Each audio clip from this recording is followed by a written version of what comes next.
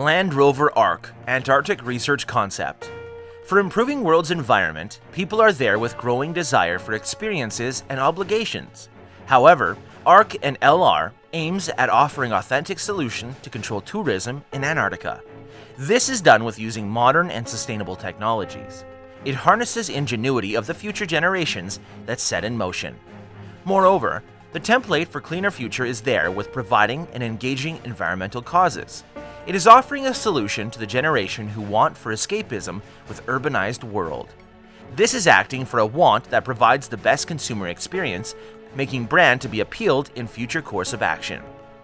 The research concept even builds generations that need authenticity by harnessing ingenuity. This set motion of a template for cleaner future through engaging the research for environmental causes. This is creating a proper interior and exterior design of the sympathetic Antarctica's pristine surroundings. With the Architecture Land Rover Hub, it is global research base that is located around Antarctica.